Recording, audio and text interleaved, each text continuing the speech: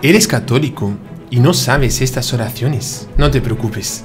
En este podcast te las vamos a enseñar. Aprende de memoria estas nueve oraciones tan importantes para que seas santo.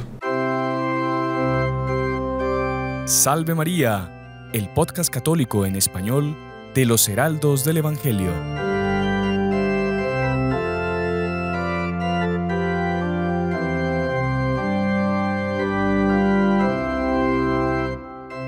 Muy estimados amigos que nos acompañan por Radio Luz, por nuestro canal de YouTube, por Spotify, por Apple Podcast y por todas las otras plataformas por donde salimos, eh, bienvenidos a un nuevo programa, a una nueva edición de Salve María con los Heraldos del Evangelio. Estamos como cada semana acompañándoles para conocer un poco más de nuestra fe católica y como siempre, una alegría contar con la presencia del Padre Íñigo Abad. Salve María, Padre Íñigo, ¿cómo está? Salve María, hermano Sebastián. También nuevamente es una alegría estar aquí en el podcast y como se dice, pues con todos nuestros queridísimos amigos que a distancia, y eso es una palabra importante para el tema de hoy, ¿no? Sí. A distancia nos acompañan, pero estamos cerca, siempre cerca. Y muy interesante eso que usted dice, Padre, porque hoy en día con la tecnología eh, se podría decir que no hay distancias. Puede ser que este programa eh, lo estén escuchando ahorita en Japón, en, no sé... Honolulu. Exactamente, un, Zulu ahí en Sudáfrica nos está escuchando, o alguien en, en Hong Kong o en la Patagonia, que hay mucha gente que nos sigue de varios lugares, y esa distancia prácticamente desapareció con la tecnología. Entonces hoy en día hay una facilidad de comunicación impresionante. Yo le mando un mensaje a alguien y en el instante la persona lo recibe. Le llamo a alguien por algún método de estos fáciles con el internet, ya gratis, bueno, gratis no porque pago un internet, pero de una forma muy económica, me comunico yo con cualquier persona. Y el mundo avanza y avanza y avanza y la tecnología nos da métodos cada vez más fáciles para esa comunicación. Y nosotros vivimos en este mundo como que aturdidos de tanta comunicación, de tanto hablar unos con otros. Pero a veces nos olvidamos de que hay algo muy importante, que es esa comunicación con el más importante de todos, que es justamente la comunicación con Dios. Dios, Él ya nos habló a nosotros, Él ya se comunicó con nosotros. Y Él está que Él está a la espera de que nosotros como que le respondamos esa comunicación. Y esa respuesta es justamente la oración, Padre. No sé si estoy diciendo una herejía aquí. no, al contrario. no. Es justamente eso. La oración es la respuesta que los hombres dan al propio sentimiento que Dios coloca en nuestro corazón de hablar con Él. Exactamente. Bueno, decía Santa Teresa de Jesús, ¿no? La, la oración es elevar la mente a Dios. La mente y el alma a Dios, ¿no? Eh, no sé, decía, por ejemplo, eh, San Juan Crisóstomo, Santa Teresita del Niño Jesús, decía acá, la oración es un impulso del corazón una sencilla mirada lanzada hacia el cielo, un grito de reconocimiento y de amor, tanto desde dentro de la prueba como en la alegría. Qué bonito. O sea, tanto cuando uno está triste como cuando está alegre, tiene que comunicarse con Dios, tiene que acudir a Él. No es solo eh, para las emergencias, para los problemas, no. Eso tiene que ser algo de todos los días. Ahora, mucha gente dice, Padre, pero yo no sé rezar. Yo no sé rezar. Y eso le decían a nuestro Señor también. Los propios apóstoles, ¿no? Enséñanos a rezar. Enséñanos a rezar. Y por eso el día de hoy queríamos eh, compartir con ustedes las oraciones que todo católico debería saber. Debería saber de memoria. Por lo tanto, si uno sabe memoria, señale que las debería rezar todos los días si es posible, ¿no? Así que eh, hoy vamos a compartir un poco esas oraciones y bueno, padre, no sé si le, parece, entramos ya en tema porque para variarnos nos quedamos con poco tiempo.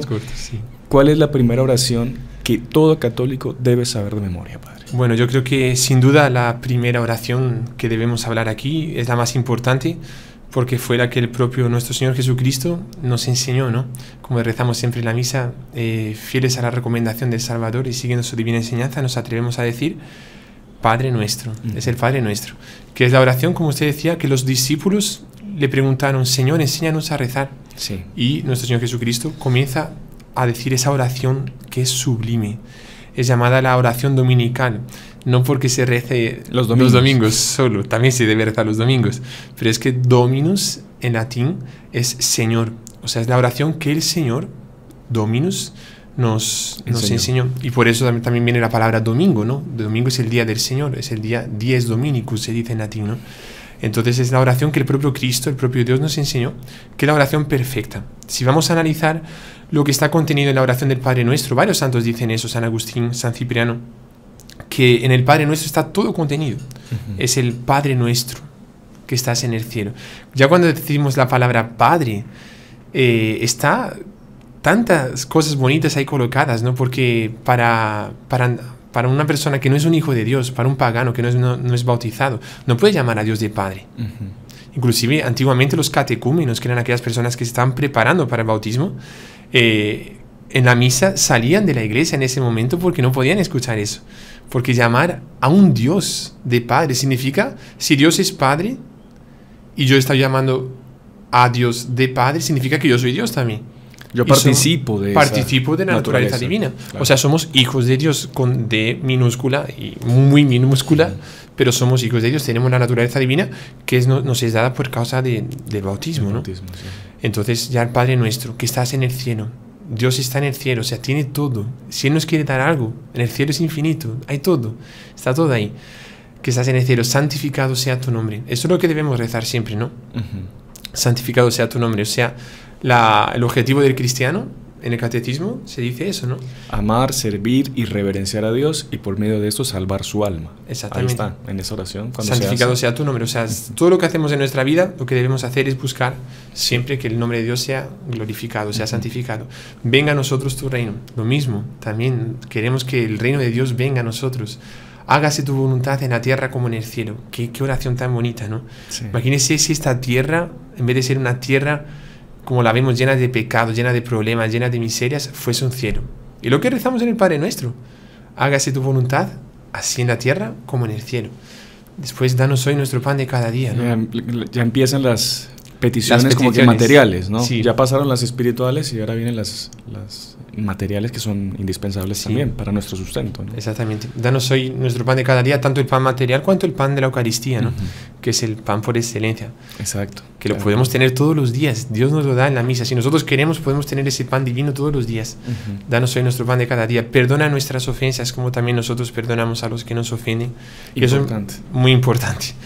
Porque hay veces que nosotros queremos siempre que Dios nos perdone, pero ni siempre queremos perdonar a, los, otros.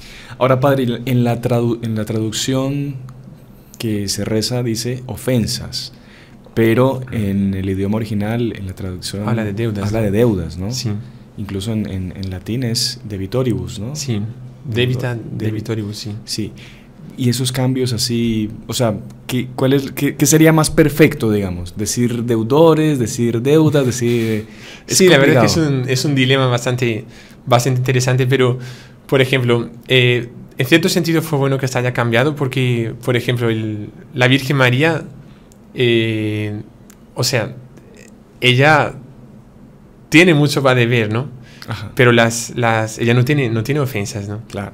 Entonces nosotros sí, nosotros necesitamos rezar propiamente el Padre Nuestro porque nosotros tenemos pecados, ¿no?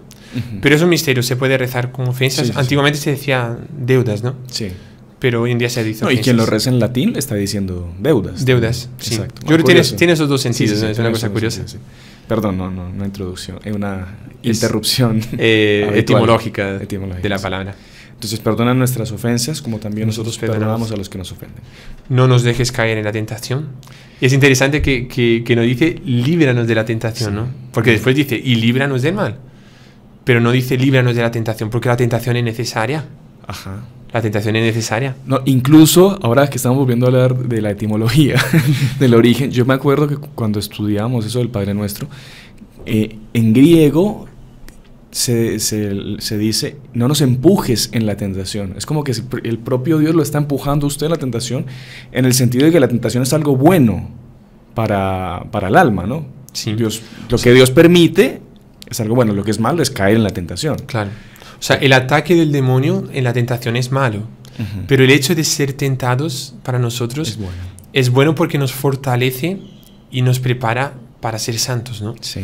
No existe ningún santo que no fue tentado. O sea, hasta nuestro Señor Jesucristo fue tentado. Sí. Él que era Dios, no tenía necesidad de ser tentado, pero lo hizo para dar ejemplo de que nosotros cuando somos tentados precisamos vencer a las tentaciones. Y cuando vencemos las tentaciones nos santificamos, pero no podemos caer Claro. en, en la tentación. Tenemos que Pedirle a Dios que no nos mal. deje caer en la tentación y que nos Librarnos libre del mal. Entonces, qué interesante cómo está condensado todo lo que nosotros Todo. necesitamos para salvarnos ahí. Sí. Para vivir y para O salvarnos. sea, la, la santificación de uno ya está ahí, ¿no? Qué impresionante. Sí. Entonces, el Padre Nuestro. El Padre primera, Nuestro. primera oración Primera. que todo mundo me imagino que ya sabe. Si no la sabe, es bueno Sí. que se la aprenda cuanto antes y que la rece todos los días. Claro. ¿no? Pero es curioso que nuestro Señor Jesucristo nos, nos enseña a rezar, pero no dice tampoco que es la única oración que Claro. debemos hacer. O sea, cada uno puede rezar también Claro, muchas porque otras muchos, oraciones. muchos dirían eso, ¿no? Pero entonces si, si, si el propio Cristo nos dijo que esta era la oración más perfecta, ¿para qué rezamos otras cosas? Claro, lo que usted dice es muy cierto. Él Ujú. dijo, eh, rezad así, pero claro, no dijo rezad solo así o Claro. no recéis otra cosa que no sea esto. Claro, Sí. él enseña en cuanto a la oración perfecta, Ajá. pero no es, no es que significa que sea la única, solo, solo Sí. tenemos que rezar esa ahí. Ujú. Y inclusive muy bonito, ¿no? Que los salmos, los 150 salmos, son oraciones, ¿no? Sí, Y son oraciones que el propio Dios, el Espíritu Santo, fue inspirando en la boca del salmista. claro. Y es lo que decíamos antes, es Dios que coloca el sentimiento en el corazón del salmista para rezar y cantar y hacer pedidos. Esos son oraciones, pero son oraciones inspiradas por Dios, así como Jesús enseñó a rezar el Padre Nuestro, Dios enseñó a rezar los salmos y son oraciones. Justamente, Salmos. El Señor está cerca de los que lo invocan, de los que lo invocan sinceramente, de los que rezan sinceramente a Él. Exactamente. El Señor está lejos de los impíos, pero escucha la oración de los justos. La oración de los justos. Qué bonito. Exactamente. Y es el propio Dios que inspiró eso Inspiró. al rey David para que lo dijese. Es una oración, ¿no? Claro. Interesante. Y además de las oraciones que ya vamos a hablar aquí ahora, de las oraciones fijas también, cada uno puede rezar como quiera también, por sí, con oraciones propias, ¿no? Sí, sí, sí. Solo para cerrar el tema del Padre Nuestro, Padre, esta, esta oración la encontramos en la Biblia, en el libro de San Mateo San Mateo es Mateo eh, 6, capítulo 6, versículos 9, 13. al 13. Y también en, en el Evangelio de San Lucas, el capítulo 11, versículos 2 a 4. Ya, perfecto. Cambian un poco algunas Sí. cosas, Sí, pero sí, dicen que la más completa es la de San Mateo. San Mateo, exacto. San Mateo estaba en el momento también, ¿no? San Ujú. Mateo escuchó, San Lucas lo escuchó de San Pedro, que era discípulo de San Pedro. Ya, Pero perfecto. San Mateo, digamos, las dos son inspiradas porque todo es inspirado, pero San Mateo es Perfecto, como que el más completo. Bueno, entonces cerramos ahí el Padre Nuestro. La oración dominical. Segundo, Padre. La segunda, pues, no podría ser otra que el Ave María, ¿no? El Ave María, claro que el sí. Ave María. Y es una oración tan bonita, tan bonita, el Ave María, pues inclusive cuántas músicas se han hecho, ¿no? De, del Ave María porque es extraordinaria. Claro. Ahora, ¿quién la escribió el Ave María, Padre? ¿Quién se Pues- la inventó? El Ave María fue el propio Dios que queriendo alabar a su hija predilecta en cuanto padre, queriendo alabar a su madre en cuanto hijo, queriendo alabar a su esposa en cuanto Espíritu Santo, él, el propio Dios, colocó en boca de dos personas. La primera es una persona diferente que es San, San Gabriel, Su San embajador. Gabriel, su embajador, representante. que claro. cuando él va a anunciar a la Virgen María justamente la encarnación del Verbo, o sea que ella sería la mamá del propio Dios, de Jesús, el ángel Gabriel, cuando se presenta delante de la Virgen, dice, Ave María, llena de gracia, el Señor está contigo. Es el Ave María, justamente el Ave María, ¿no? Ujú. Sí, sí, sí. Que nosotros en el español decimos Dios te salve María, pero ese Dios te salve es un saludo que en latín se dice Ave. Ave María, Dios te salve María, llena eres de gracia, el Señor está contigo. Esa, esa primera parte del Ave María fue Es una- compuesta Una alabanza. entonces. Es una alabanza. Primera parte, una alabanza. Sí, y dentro de esa primera parte de alabanza hay una segunda parte de alabanza, que es la bendito tú eres entre todas las mujeres y bendito es el fruto de tu vientre Jesús, que también fue inspirado por Dios, porque está en la Sagrada Escritura, todo lo que está en la Sagrada Escritura es, es palabra de Dios, y fue inspirado por Dios a la prima de la Virgen María, que es Santa Isabel. ¿Se acordarán de ese Sí. episodio? Que después que ella recibe el anuncio del ángel, ella va a visitar a su prima. O sea, inclusive en, en tiempo fue muy, muy, muy junto, ¿no? la, el Ave María, la primera parte y la segunda parte de la Ave María en cuanto a alabanza son muy juntas. Porque cuando la Virgen María llega eh, a visitar a su prima Santa Isabel, ella siente saltar a San Juan Bautista eh, en su vientre y ella hace esa exclamación tan bonita. Dice, eh, bendita tú eres entre todas las mujeres y bendito es el fruto de tu vientre Jesús. ¿Quién soy yo para que la madre de mi Señor me venga a visitar? La madre de mi Señor. De mi Ahí Señor. la está reconociendo como la madre de, de Dios. Sí. Claro. Inclusive muchas cosas que los protestantes dicen, ¿no? Que dicen que en la Biblia no hay ningún lugar que dice que la Virgen María es madre de Dios. Es mentira. A Las personas tienen que saber que es mentira eso que dicen, porque está en la Biblia en ese momento. Porque ¿qué significa la madre de mi Señor? No es el patrón que él tenía, ella tenía en el trabajo. es la madre de mi Señor, es la madre de Dios. Y eso Ujú. fue revelado por Dios a Santa Sí. Isabel. Bendita sea, o sea, entonces la primera parte, eh, la Esa- parte de la alabanza, de la alabanza, que esa, parte, esa primera parte de la alabanza tiene dos momentos. La, la compuesta por San Gabriel. que la y- encontramos en el Evangelio de San Lucas, Ujú, exacto. capítulo 1, versículo 28, dice acá. Vale. Y la segunda parte, que, eh, que dice, bendita tú entre las mujeres y bendito el fruto de tu vientre, está en San Lucas, capítulo 1, versículo 42. Sí. Ahí para que quede ya registrado. Quede registrado, sí, sí. exactamente. Y eso ya a partir, bueno, eso estaba en la Biblia, pero en cuanto a oración, creo que es a partir del siglo IV más o menos, que comienzan a rezar en cuanto a una oración juntando las dos cosas, ¿no? Y la segunda parte de la Ave María, que ya es una súplica, ¿no? Que es la parte de Santa María, Madre de Dios, ruega por nosotros pecadores, ahora y en la hora de nuestra muerte. Amén. Eso se configuró bien después. Dicen que en el siglo XII más o menos, pero ya ese título de Santa María Madre de Dios ya ese se lo dio San Cirilo de Alejandría, que es el gran defensor del dogma de la maternidad divina, ¿no? El concilio de el concilio Éfeso. de Éfeso 431, en el año 431, él va a defender porque había un hereje que decía que la Virgen María era madre de Cristo solo y no era madre de Dios, como dicen hoy en día los protestantes. O que era madre del, de- del cuerpo solo. Del cuerpo de Jesús. Hay un montón de Sí, herejías. un montón de cosas tontas. Sí, sí. Y, y él decía que era Santa María, Madre de Dios. Pero después la súplica de ruega por nosotros parece que es un poco más posterior. Claro. Sí. Claro, es como si, si alguien dijese, no, que un ejemplo típico que dan, no sé, entonces un- una persona es eh, alcalde de una ciudad X, por ejemplo, el alcalde de Nueva York. Entonces, eh, es como decir que la madre de, de esa persona que es alcalde de Nueva York es solo la, la madre de la persona humana, pero no del alcalde de Nueva York, ¿no? de fulanito Sí. de tal, pero no del título que tiene. ¿no? Ella es la madre de fulano de tal, pero no es la madre del alcalde de Nueva York. Es, es ridículo. Claro. Ella es madre de la persona con todos los títulos todos que la que persona tiene. Exacto. Por supuesto que sí. Entonces, Nuestra Señora, Nuestra Señora es madre de nuestro Señor Jesucristo, Sí. que es hijo de Dios, por lo tanto ella es madre de Dios. Sí. Y Él es Dios también, madre, madre de Dios. Y sabe que es muy bonito esa, esa última parte de la intercesión porque ese ruega por nosotros pecadores, primero nos estamos reconociendo pecadores, que para dirigirnos a Dios, a la Virgen, nada mejor que ser humildes y reconocer lo que somos, pecadores. Ahora, ahora, en el momento ya tiene que interceder la Virgen y en la hora de nuestra muerte, Sí. que es el momento más importante de Claro nuestra sí. vida. El momento más importante de nuestra vida es el momento de nuestra muerte. Porque conforme nosotros estemos en el momento de la muerte, vamos a ser juzgados por Dios. Sí. La persona pudo ser súper buena, pero en los últimos 10 años fue mala y pecó muchísimo y muere así, va a ser juzgada por Dios en ese estado. O en, la- en el último momento Al de su- contrario. de su, no, en el último Ah. momento de, de su, de, su, de su vida, justamente comete un pecado mortal. Sí, Es como el árbol que cae, cayó y así quedó. Y así es juzgado y en, la- en el lugar donde cayó, en la situación como cayó. sí, exactamente. Por eso es que el demonio eh, molesta tanto y tienta tanto a las personas a la hora de la muerte. Sí. Tentaciones de abandono, de Desesperación. desesperación, ¿no? Y Sí. por eso es tan importante el auxilio de Nuestra Señora en la hora de la muerte. Exacto. Ujú. Y lo contrario muchas veces pasa también, ¿no? La persona a veces una vida de pecado, Sí. pero comenzó a rezar Ave Marías, Ave Marías, y Nuestra Señora en el momento de la muerte, No ¿cuántas no- veces nos ha pasado eso, ¿no? Sí. De accidentes de tráfico, que la persona, uno coge que, que está casi muriéndose o ya está casi muerta, y viene el Padre, puede perdonar los pecados, le da unción de los enfermos, y seguramente esa persona, me acuerdo de un accidente que cogió un padre de los heraldos y, y, y realmente la señora se murió poco después y se lo comentaron a nuestro fundador, Monseñor Juan, y dijo, seguramente esa señora cuando era pequeña o rezó, rezaba Ave Marías o le dio una rosa a la Virgen cuando era pequeña y la Virgen María guardó ese, ese acto de amor Claro. dice, ahí está aquí la salvo.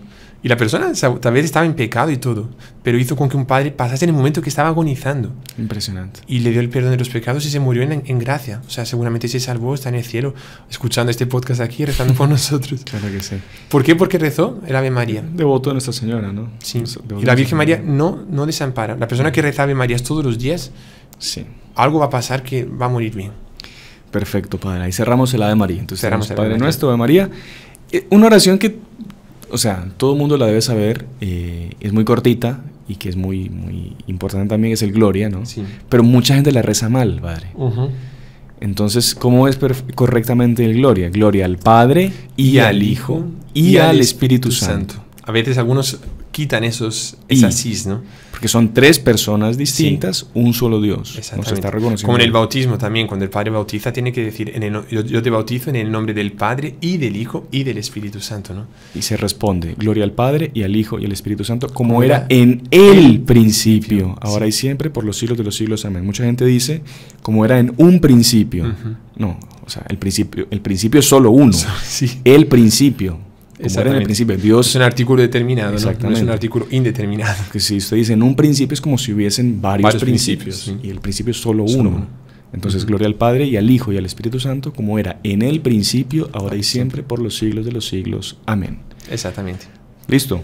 Ahí terminamos el, ese- esa segunda esa segunda parte del Ave María, Sí. pero con el Gloria también, ¿no? Padre, antes de que terminemos la primera parte del programa, si quiere, entremos con otra oración eh, que es súper importante también Sí. y que mucha gente no se la sabe, Ujú. que es, ¿cuál? El credo. el credo. El credo. ¿Cuántos credos hay, Padre? Tenemos oficialmente en la iglesia reconocidos así en el misal que en la ceremonia, en la misa se rezan, tenemos dos. Ujú. Es el credo apostólico Sí. y el credo niceno-constantinopolitano. Es difícil pronunciarlo. Dentro de poco ya vamos a decir por qué se, Sí. se dice así, ¿no? Apostólico es el que se conoce como el credo corto, El credo corto, exactamente. que es el Que era- más o menos todo el mundo se sabe. Sí, Que- Perdón, que cuenta la tradición que después de que vino Pentecostés, ¿no? Cada uno de los apóstoles fue diciendo uno de los artículos del credo, ¿no? Creo en un solo Dios Padre Todopoderoso, Creador del cielo y De la la tierra, tierra. Creo en Jesucristo, su Jesucristo. único Hijo, nuestro Señor, etcétera, etcétera, etcétera. Lo vamos a dejar en la descripción del Sí. video para que... Sería un puedan- poco largo de decirlo Sí. todo aquí, Pero, pero, pero, está- es interesante esa, esa tradición que dice que, por eso se llama apostólico también. que viene de los apóstoles. Cada uno de los apóstoles dio un, uno de los artículos. Y después está el credo largo que se conoce también, Ujú. que es el que usted decía, el credo cons- niceno-constantinopolitano. Sí, y eso porque el niceno es una, son una palabra compuesta, niceno constantinopolitano. Niceno porque en el concilio de Nicea, en el año 325, justamente había algu- algunos herejes que negaban la divinidad de nuestro Señor Jesucristo. Decían que Jesús era un hombre extraordinario, Sí. un santazo y tal, pero no era Dios. Y en el concilio de Nicea se va a proclamar el primer dogma oficial de la Iglesia en cuanto concilio ecuménico, todos reunidos, se va a proclamar la divinidad de nuestro Señor Jesucristo. Y entonces, a diferencia de- del credo apostólico, que es creo, creo en Dios Padre Todopoderoso, Creador del cielo y la tierra, creo en Jesucristo, su único Hijo, nuestro Señor, tal. Y como que no muestra toda esa divinidad de nuestro Señor Claro, Jesucristo. está como ¿no? una explicación más Sí, teológica. ahí que Sí. viene eh, Dios de Dios, luz, de luz, Dios verdadero, de Dios verdadero, engendrado, no creado, de la misma naturaleza. Pero ahí es más, sí, de la misma naturaleza del Padre por quien todo, Todo fue fue hecho. hecho. Entonces Sí. muestra que tanto el Padre cuanto el Hijo son verdaderamente Dios, los dos. Una. La primera persona, la Santísima Trinidad, y la segunda persona de la Santísima Trinidad. Eso es por causa del Niceno, ¿vale? Concilio de Nicea. Constantinopolitano también es otro concilio que fue en Constantinopla en el año 381, que ahí es otro lado, se, se negaba la divinidad del Espíritu Santo. Así como en el de Nicea se negaba la divinidad del Hijo, en el de Constantinopla se negaba la divinidad del Espíritu Santo. O sea, no es que se negaba, se defendía.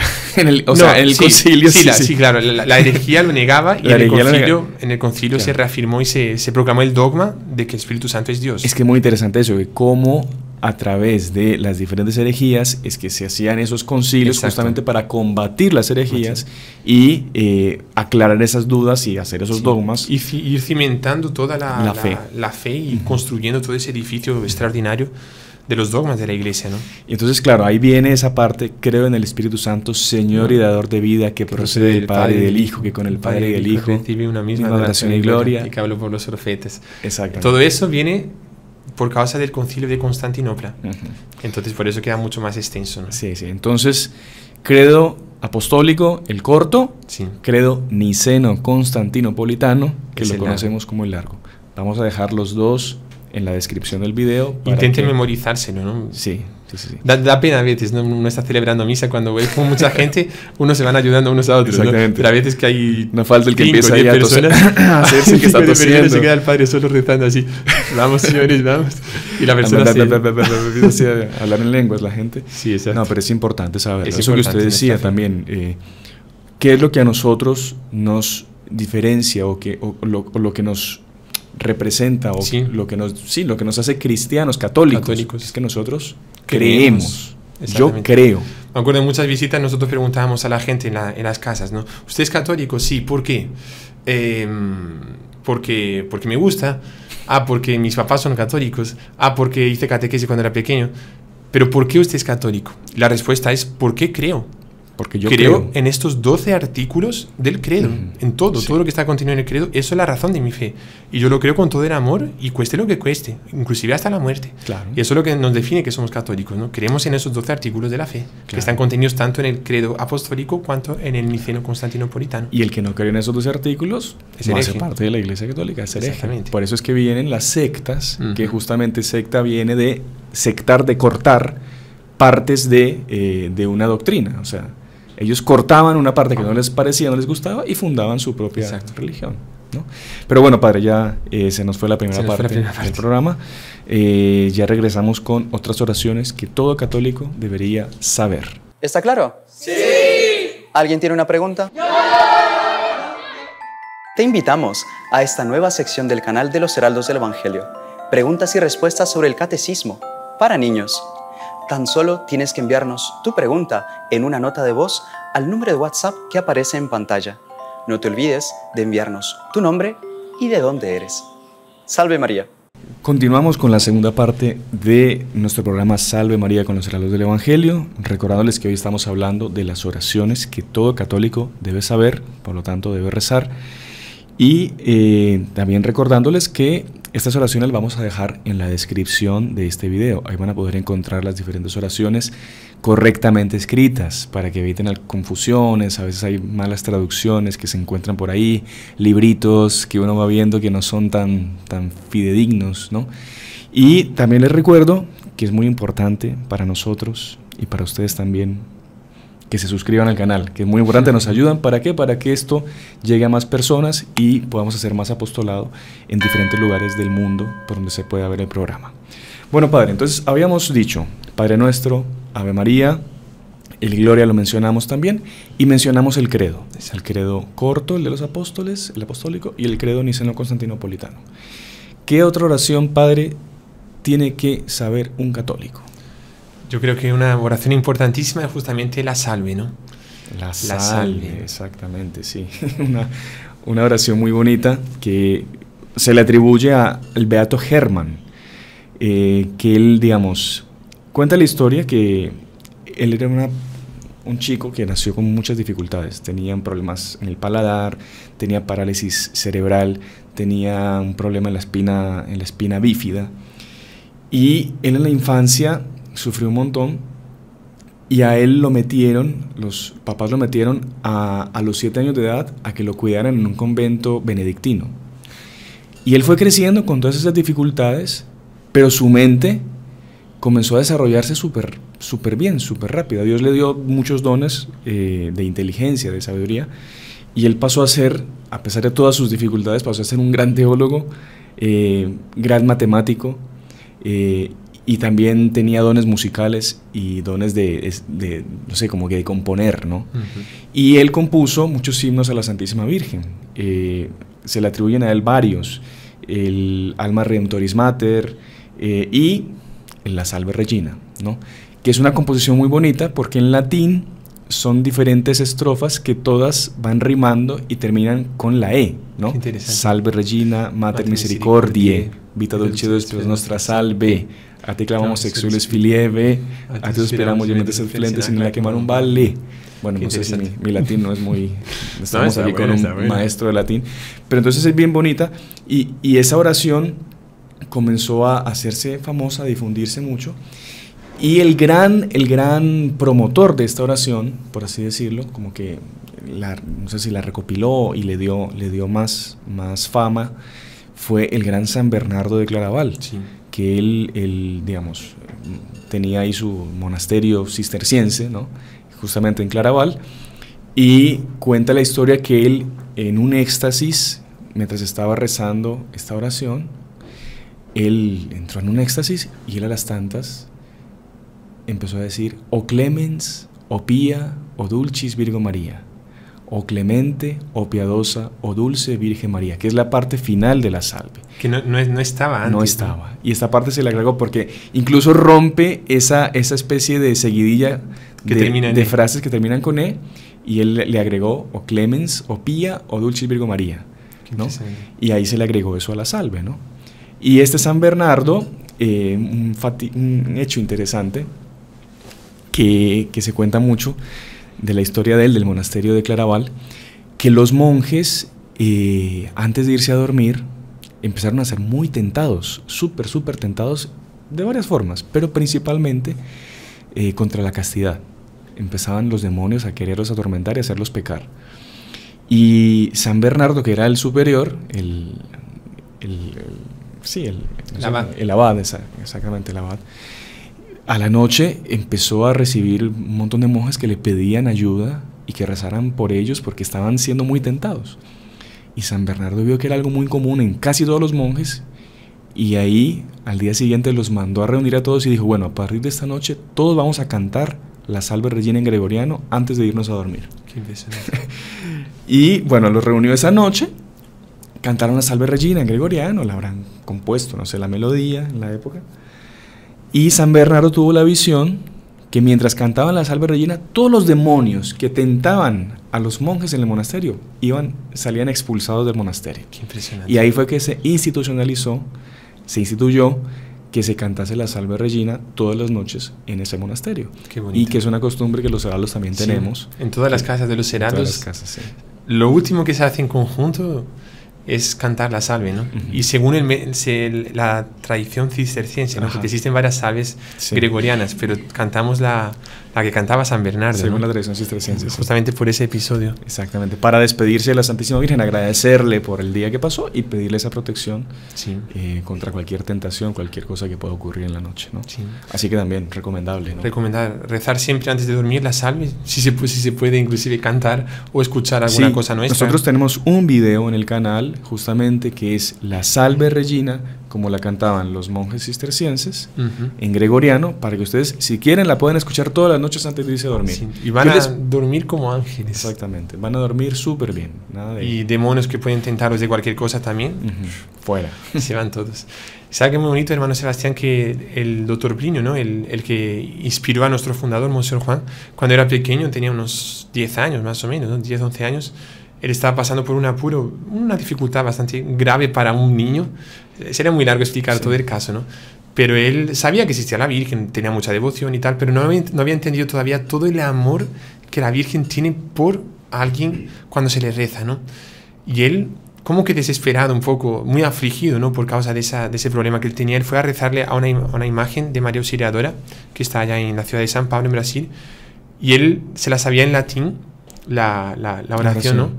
Y él escuchaba, escuchaba, que era Salve Regina, ¿no?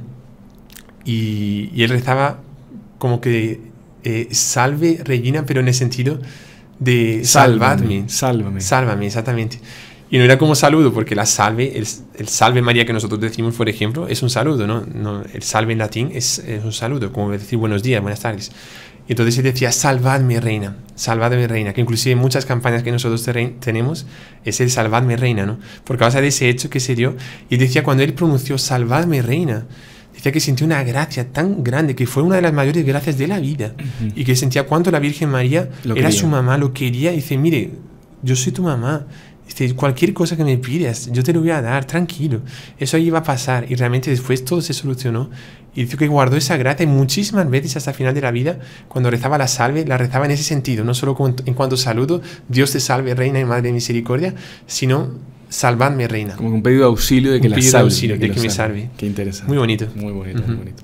Y ese justamente, ese salve que usted decía, el salve, salve María, es el saludo también de los heraldos, también viene de San Bernardo, en ese sentido de que San Bernardo siempre que pasaba delante de la imagen de Nuestra Señora, le decía, salve María, y se iba. pasaba nuevamente, en otra ocasión la miraba, salve María. Yo conozco una versión, padre, que es un poco diferente a la que usted cuenta siempre, que es que él un día iba apurado y él pasó y no la saludó a la Virgen. Él pasó derecho y ahí cuando él se estaba yendo, sin saludar a la Virgen, la Virgen le dijo, salve Bernardo. y ahí San Bernardo se, se, dio cuenta, se devolvió y le dijo, salve María. Qué impresionante. Esa es la versión que yo había escuchado, pero bueno, no sé si coinciden los evangelios. Lo que importa es que la Virgen pronunció el nombre de San Bernardo y lo saludó también. La imagen cobró vida, ¿no? Es sí, claro que sí, la imagen cobró vida y le, lo saludó. Bueno, padre, con la salve, si quiere para condensar todas estas oraciones y para que ustedes las puedan hacer todos los días y no se les olviden hacerlas, es muy fácil. Simplemente recen el Santo Rosario todos los días. Porque en el Santo Rosario están estas oraciones que hasta ahora hemos mencionado. El se empieza con el credo, Padre Nuestro, Padre Nuestro las Ave Marías, las Ave Marías se Gloria. enuncia- exactamente, Gloria. Después se enuncian los misterios que se puede conseguir el librito para quien no se los, no se los sepa. Sí. Hay libritos donde están los misterios, qué día se reza cada misterio, ¿no? Sí. Que es justamente una, una meditación de la vida de nuestro Señor Jesucristo, la vida de la Santísima Virgen también. Sí, se puede rezar todos los misterios en el mismo, en el mismo día, mejor, ¿no? Rezar dos, tres, cuatro rosarios, Sí. mejor todavía. Exactamente. Pero con que empecemos menos- con uno, menos uno digamos, para ¿no? no- Exactamente. Entonces, aquí está condensado todo en el Santo Rosario, Sí. ¿no? Simplemente faltaría la oración del Oh Jesús mío, ¿no? Sí. Oh Jesús mío, perdona nuestros pecados, líbranos del fuego del infierno, lleva al cielo a todas las almas, especialmente a las más necesitadas de tu misericordia. Y ustedes ya, sabiéndose todas esas oraciones de memoria, rezan el Santo Rosario todos los días, como lo pidió la Santísima Virgen en Fátima. Sí, Rezar el Santo Rosario todos los días para alcanzar la paz. exactamente. Paz en el mundo, pero sobre todo paz en, En los corazones de y en la cada familia también. Exactamente. Familias que no están en paz. Rezar el rosario en familia es impresionante. Ajá. Les cambia la vida. Cambia la vida. Familia que la vida. reza el rosario le cambia la Nosotros vida. lo rezamos todos Sí. los días en conjunto. Sí, sí, sí, sí. Después del desayuno siempre rezamos el rosario Ujú. juntos. Exactamente. El primer rosario del día. El primer Sí. rosario del día. Claro, Después claro está nosotros. Ujú. Pero es interesante que el rosario termina también con las, con las letanías, ¿no? Las Exacto. letanías lauretanas que de alguna manera pues ya lo colocamos dentro del rosario, ¿no? Que no hace falta que se las, se- las sepan de memoria, pero si se las saben mejor. Pero, ¿sabe? Antiguamente, padres, se aprendían. Niños, los niños se sabían las letanías. Sí, Eso no son muchas tampoco. yo me acuerdo cuando entré en los heraldos, una de las primeras cosas que Sí. hice, fa, voy a decorar, voy a memorizarme sí. aquí la, la, la- la letanía de la Virgen, ¿no? Y es súper bonita, ¿no? Y es curioso porque se llaman lauretanas, ¿no? Letanías viene de- del griego que significa súplicas, ¿no? Ujú. Y lauretanas es, eh, es porque todas esas jaculatorias, esas devociones, esas formas, eh, Esos Santa María, títulos. títulos, Santa María, Santa Madre de Dios, Santa Virgen de las Vírgenes, fueron títulos que se fueron colocando y rezando y cantando inclusive en una iglesia en Loreto, que es donde está justamente la casa de Nazaret, que vino volando, eh, traída por, por ángeles, y la Virgen estaba también ahí con el niño Jesús, cuando los musulmanes estaban ya para invadir la ciudad de, pues en esa región de Nazaret, en, en Palestina, ellos trajeron la, la casa de Nazaret y la colocaron en un bosque de laureles, que en latín se dice laurum, y en esa, en esa, en esa región era un bosque lauratum, de, Ujú. bosque de, de- de laureles, ¿no? Y ahí se edificó después una, una iglesia en torno a esta casa, que era la casa de Nazaret, que hoy en día existe inclusive, y conforme comenzaron a colocar los títulos en, tor- en torno de esa iglesia. Y eh, cada, cada título era la- el título que nosotros rezamos en las letanías. Por eso las letanías de Loreto, las letanías de la casa de Loreto, esos títulos están justamente en esa casa, que es la casa de Nazaret. Por eso se llaman let- letanías Lauretanas, lauretanas. exactamente. Es por eso. Interesante. Muy Santa. María, Santa Madre de Dios, son Santa Virgen de las cada- ahí cada- Madre de Cristo, Madre de la Divina Gracia, Madre Purísima. Cada título daría un podcast, ¿no? Sí, cada título. exactamente. Muy interesante también. Muy interesante. Bueno, padre, ¿alguna otra oración que la gente debería aprenderse? Que es importante. Yo creo que en el día a día sería muy interesante que nosotros supiésemos de memoria una oración lindísima que es el Ángelus, ¿no? El ángelus. El Ángelus. Que tal vez no todos tengan el hábito de, de rezarlo, ¿no? Sí. Pero es una oración muy bonita que dicen que fue conforme el tiempo, no fue, no fue una cosa así establecida, pero que se compone pues de esas tres Ave Marías, de esa jaculatoria. Eh, y dicen que fue un papa, Urbano II, justamente el papa de las cruzadas, tal vez para pedir gracias a las cruzadas para que se re- fuesen rezando en momentos del día, ¿no? San Buenaventura, él establece en, los, en el convento, en el monasterio de él, de los franciscanos, cuando era prior, que los monjes rezasen por la noche esas tres Ave Marías y a cada Ave María se tocaba una campana, Ujú. ¿no? Que es una costumbre que nosotros, bueno, el Ángelus siempre se cantaba así, se, se- se- se- se tocaba así, ¿no? Se tocaba una campana, tan, y hay una, una jaculatoria, ¿no? Las tiene ahí, ¿no? La- Sí, sí. La primera es, el ángel del Señor anunció a María y ella concibió por obra y gracia del Espíritu Santo. Ahí, se toca Dios- la campana. ahí se toca la campana. Entonces, salve María, llena eres de gracia. Ahí después está la, segunda, Sí. He aquí la esclava del Señor, hágase según tu tu palabra. palabra. Otra Otra María, campana. y después la tercera.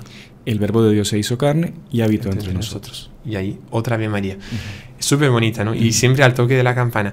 Y con San Buenaventura era por la noche, después un Papa, Juan XXII, quiso que fuese por la noche y por la mañana, pero en los pueblos también, que se tocase en los pueblos. Por eso hay pueblos todavía que yo creo que existe ese- esa tradición de tocar el ángelus, ¿no? A las 6 de la mañana o también a, a las 12 Del del mediodía, mediodía. y a las 6 de la tarde Sí. también. Y a las 12 del mediodía, curiosamente, fue otro papa, que fue Calixto III, que fue justamente el que instauró la fiesta de la transfiguración del Señor, que celebramos hace algunos días, ¿no? que es el patrono inclusive de, del Salvador, que estaban en lucha contra los turcos, allá cerca de Belgrado, y un año antes, para pedir gracias para, para que se obtuviese la victoria, él pidió que se tocase siempre la campana, rezando tres Ave Marías con el Ángelus, eh, a las 12 de mediodía, que antes no, era, era a las 6 de la mañana y a las Y a 6 de la las seis de la tarde. Y el que colocó a las 12 fue el Papa Calixto III. Y es muy bonito que en la casa de los Heraldos siempre se toca, ¿no? A las 6 no, porque es- algunos están durmiendo todavía, ¿no? Pero a las, 12, a las 12 y a las 6 de la tarde se toca la campana y se reza en conjunto, ¿no? El, Sí. el Ángelus. Y es una oración súper bonita. O sea que hay un caso muy interesante eh, de un miembro de los, de los heraldos antiguo que él ya falleció y él tenía la función de campanero. Y él, digamos, tenía muchas limitaciones, ¿no?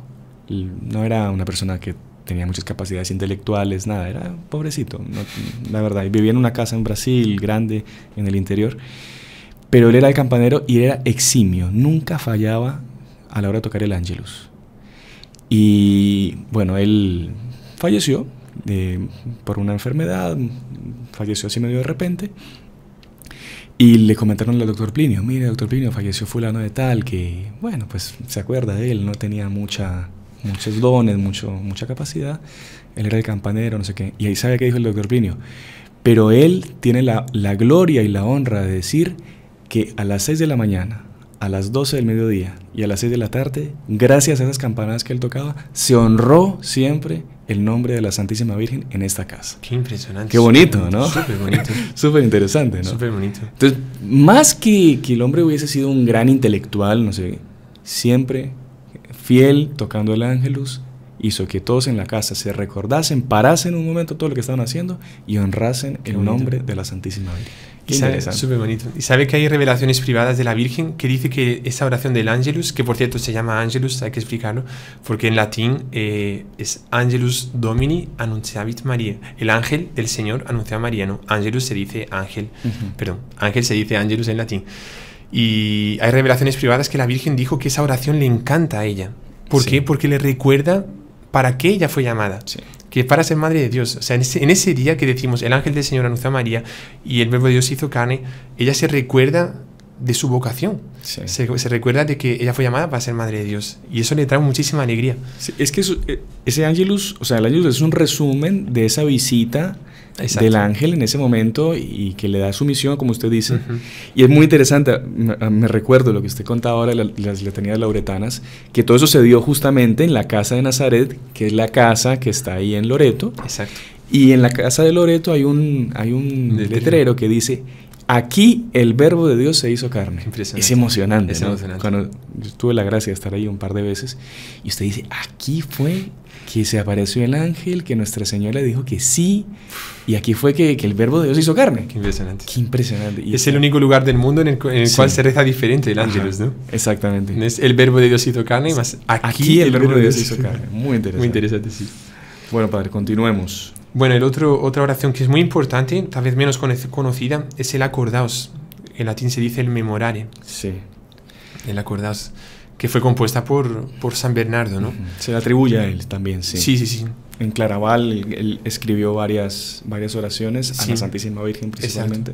Y sobre todo por un éxtasis, una especie de visión que él tuvo, que estaba haciendo un sermón y en cierto momento él paró, miró en el, en el infinito, seguramente estaba viendo a la Virgen Y él dijo, es inaudito, nunca se escuchó decir, jamás se podrá hablar sobre... Y todo el mundo se dice, ¿qué significa esto? ¿Qué significa?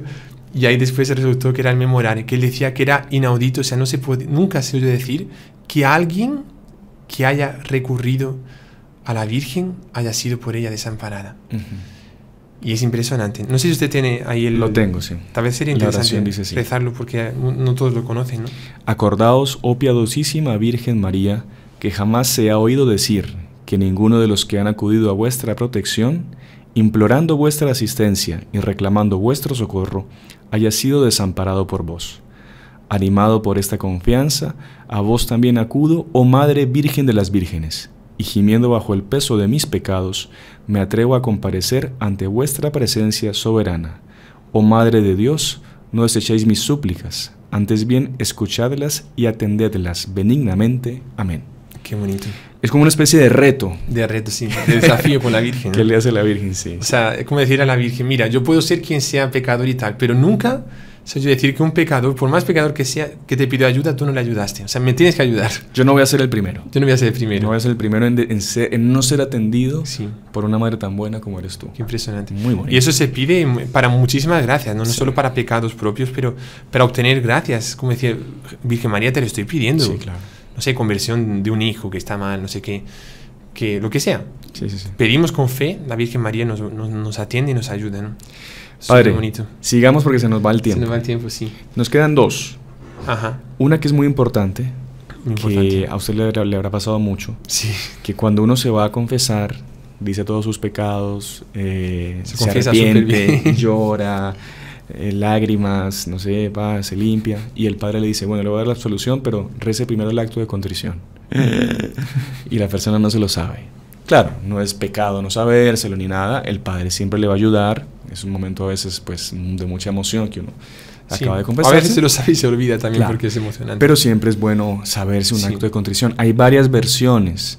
La más clásica es una que voy a leer ahorita, que dice, Señor mío Jesucristo, Dios y hombre verdadero, Creador, Padre y Redentor mío, por ser vos quien sois, bondad infinita, y porque os amo sobre todas las cosas, me pesa de todo corazón de haberos ofendido. También me pesa porque podéis castigarme con las penas del infierno. Ayudado de vuestra divina gracia, propongo firmemente nunca más pecar, confesarme y cumplir la penitencia que me fuera impuesta. Amén. Exacto. Ese es el más tradicional. Sí. Que esa es una, o sea, justamente uno de los, de los requisitos para una buena confesión es rezar el acto de contrición. Sí, Ahora, padre, hay uno que es más corto, que lo compuso Monseñor Juan. sí. Si usted lo quiere Claro que sí. rezar ahorita también. Sí, es interesante, digamos, antes de mencionar ese acto de contrición, como usted decía, hay muchos, ¿por qué? Porque lo que importa no es una fórmula. Para que una, una confesión sea válida, es primero la persona tiene que ser sincera en, en decir sus pecados y estar arrepentida. Sí. Y ese, ese acto de contrición es justamente para mostrar que nosotros estamos arrepentidos de que de haber ofendido a Jesús, de haber dejado triste a Nuestra Señora y tenemos un deseo de no pecar más, un propósito de enmienda. Entonces ese acto de contrición se menciona. Entonces es que nosotros, es que Monseñor Juan, porque a Monseñor Juan le pasó eso, o sea, había el, hubo un padre que fue a confesar varios de los nuestros que eran pequeñitos y no se lo sabían, ¿no? Y, el padre dijo, mire, sería interesante que se lo supiesen, que lo memorizasen, tal. Y ahí Monseñor Juan, vamos a hacer uno más simple, que esté todo contenido ahí dentro, pero que todos lo consigan memorizar rápidamente. Y decía, es así, mi Padre y mi Dios, reconozco con mucho dolor que pequé. Yo os ofendí, oh mi Redentor, y merecí vuestros castigos. Por María, Madre mía y Madre vuestra, declaro que no quiero pecar más. Por ella os pido perdón. Muy bonito. Muy bonito. Y que la ponía, simple, la ponía a Nuestra Señora como como intercesora. ¿Para qué? Para pedir ese perdón. Exactamente. Es muy interesante. Muy bonito. Muy bonito. Sí, también lo vamos a dejar en la descripción para que lo... Listo. Y se nos va el tiempo, padre. Y el último que nos queda es una oración muy, muy Fuerte. fuerte, muy, Muy poderosa para El esa combate. lucha espiritual, ese combate espiritual contra el enemigo infernal, Sí. que es el exorcismo breve. Sí. Una oración que es compuesta y es hecha a San Miguel Arcángel. Exactamente. Esa, esa oración fue compuesta por un papa, que es León XIII, y es una oración fuerte porque él tuvo una visión fuerte, ¿no? Él estaba reunido con otros cardenales y tal en el Vaticano y de repente se quedó mudo, no hablaba, se quedó pálido y nadie sabía lo que estaba pasando Y él se retiró a sus aposentos, después le preguntaron qué ha pasado, se siente mal, y dice, no, yo tuve, tuve una visión. Y él decía que él veía el infierno y del infierno salían un montonazo de demonios y blasfemando contra Dios y diciéndole que en los, en los años futuros ellos irían a tentar a la humanidad como nunca lo habían hecho hasta ahora. Y, y como siendo insolentes contra Dios. Y dice, si nosotros queremos podemos destruir a la iglesia y llevar al mundo entero al infierno. Eso fue en 1880. Fue el y- 13 de octubre de 1884. Sí. Curioso que fue el mismo día de la última aparición de la Virgen de Fátima, ¿no? Pero Sí, sí, muchos años años, antes, antes, claro. pero fue el mismo día, 13 de octubre.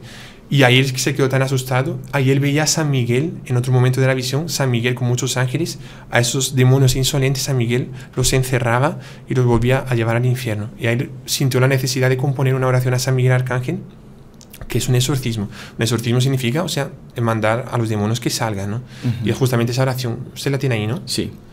Dice, y si le parece con esta oración terminamos. Terminamos. Rezamos esta, esta oración a San Miguel Arcángel, Sí. que también la vamos a dejar ahí en, Sí. en la descripción.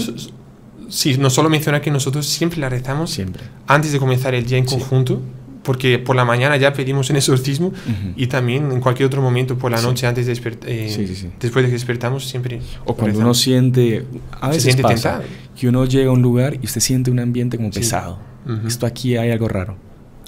Memorícesela y récela en ese momento, porque está haciendo un exorcismo, está invocando a San Miguel para que expulse el demonio. Sí. Entonces, muy importante. Entonces, vamos a rezarla para terminar y ahí el Padre nos da la bendición. ¿Listo? Claro que sí. San Miguel Arcángel, defiéndenos en la batalla. Sé nuestro amparo contra la perversidad y acechanzas del enemigo. Reprímalo Dios, te pedimos, suplicantes, y tú, príncipe de la milicia celestial, arroja al infierno a Satanás y a los otros espíritus malignos que andan por el mundo para la perdición de las almas. Amén. Amén. Perfecto. Y ahora damos la bendición para todos, para que puedan rezar con estas oraciones todas que les hemos dado, para que sean siempre más cercanos a Dios y más próximos de Dios. El Señor esté con ustedes. Y con tu espíritu. Y la bendición de Dios Todopoderoso, Padre, Hijo y Espíritu Santo, descienda sobre ustedes y permanezca para siempre. Amén. Salve María. Salve María.